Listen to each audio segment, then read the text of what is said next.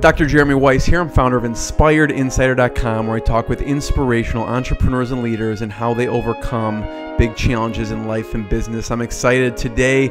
We have Jeffrey Eisenberg, founder of BuyerLegends.com. He's an authority and pioneer of internet marketing strategy.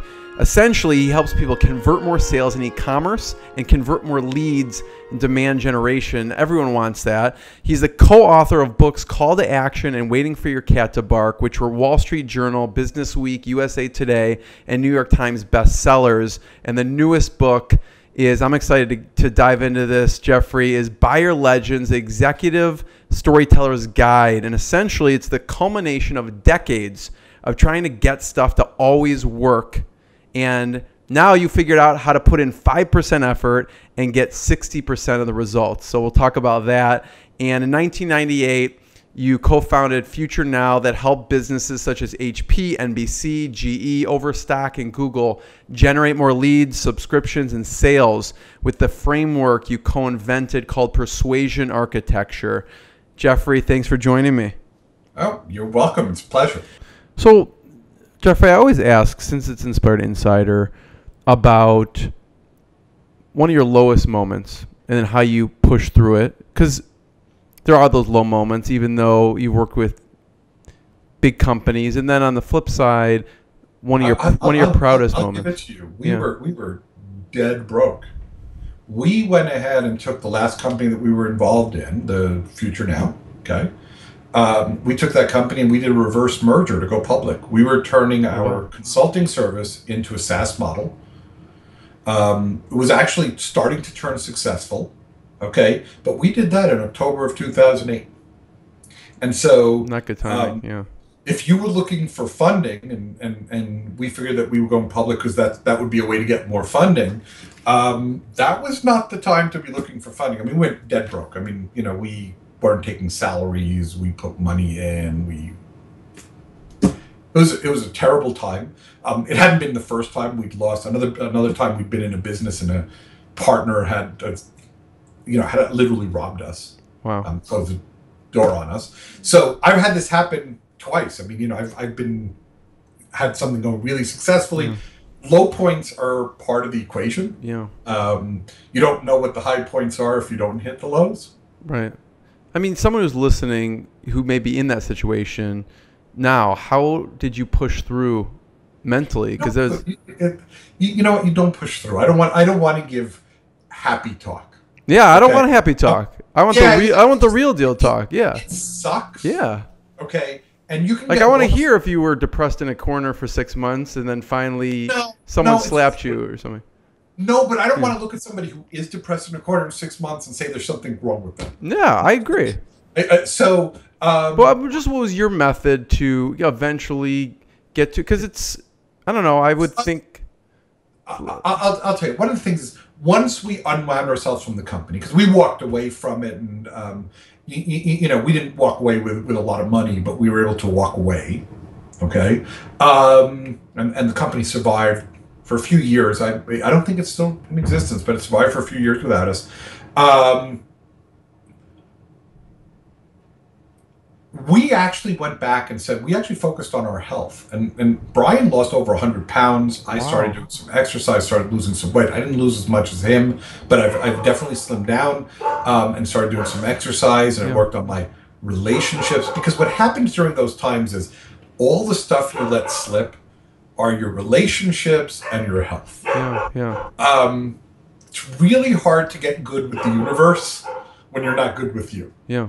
Um, that wound up really being the focus. I like that. Yeah. Uh, and I don't have any magic words. no, if, I like if that. One of yeah. the listeners is situation. Yeah. I just I just want to tell them man, I know how bad it sucks. I know how bad it sucks to lose. I know how bad it sucks to do something that you're sure is going to work and doesn't work. Right. Um, you know, when we were building Future Now, I can still remember, you know, high fiving the first time. This is a cool story. Yeah. The very first time that we got a newsletter subscriber, okay, yeah, whose email we didn't recognize. Right. Okay. I love those moments. Exciting, yeah. right? Um, you know, and these days, you know, Brian's building a, a, is very involved in building a company called Ideal Spot. He's actually actively their CMO. I'm an investor and I do some business development, but very early stage startup. They're still, um, y- y- you know, they're still um, um, looking for their seed round, but it's idealspot.com. And what it does is it chooses a real estate location for you. Basically, you you put in a real estate location that you are interested in putting a, a, a store in, and it will give you the risk factor for it. It's a So great big name. It's a great name. Yeah. Thank you. Um, and so, um, and you know, and we're building Buyer Legends um, to be um, more of a training company. We don't actually have a, an exact plan for what it's going to be when it grows up, but it's going to be its own thing. Yeah. Um, and so we're building businesses, and y- you know, we we are able to survive because of all the hard work we put into building reputation, right? So Yeah. it takes a lot of effort and a lot of investment to build New York Times bestsellers, right? Everybody's a best-selling author, but do they actually get on a list?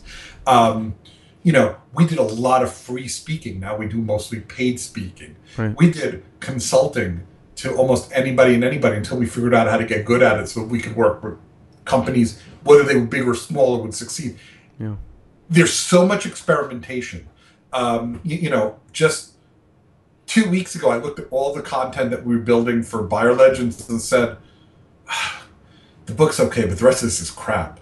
And you know, if you go look at the blog, you can make a determination for yourself. I think that some of it is okay, but we wanted to set a much higher standard. And so I can tell you that if you went and subscribed to BuyerLegends.com, you'll actually notice an improvement in the content over the next few weeks. Yeah. Okay.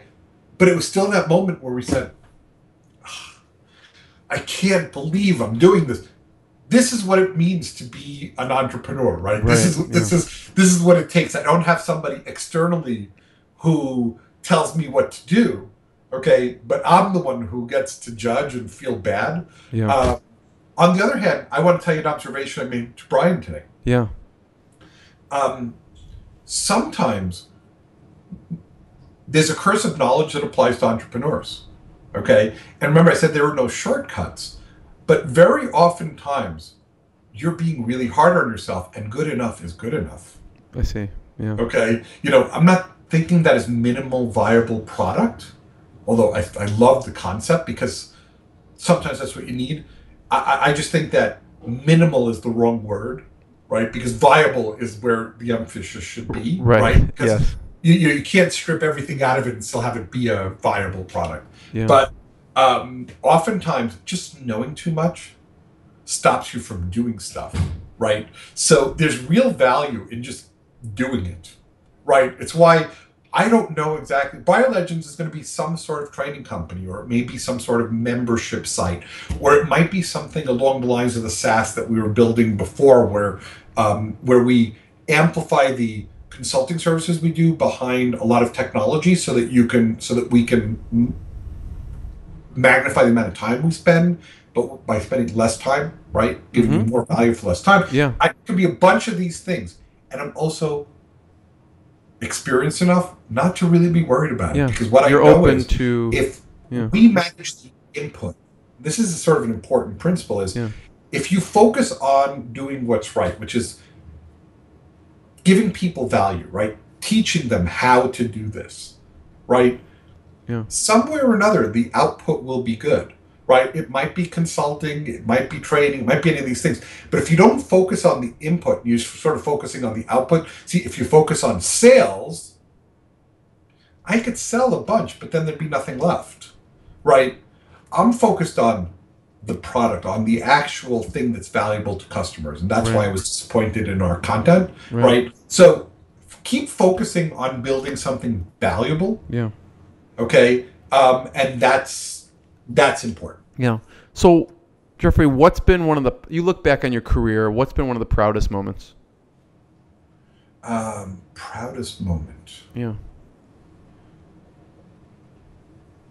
so i mentioned wizard academy and um, i was very inspired by my mentor and he happens to be one of my best friends uh, roy williams he built a it's a 32 acre campus he's built all this stuff and very early on in the academy he had invited us to come speak and teach a class there and i've got to tell you out of all of those moments the idea that he would say, "Would you teach these people?" I mean, I just remember standing there the first time and being really choked up and barely able to speak because I was Yeah.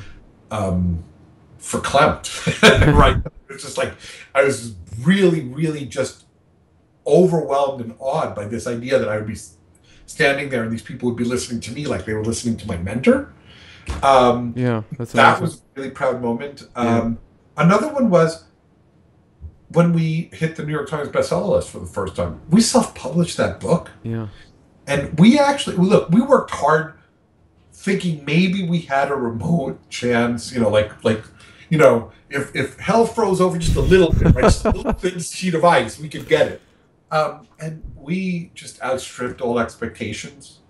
Um, but those are big moments. I'll tell you, they're really, really, the, the moments, I told you the one before. yeah, It's the one where people touch my heart when they heard me say something yeah, or they read something and they come and they come to me, they come up to me and they say, Hey, Jeffrey, you know, if it wouldn't be for this, I wouldn't have succeeded in this.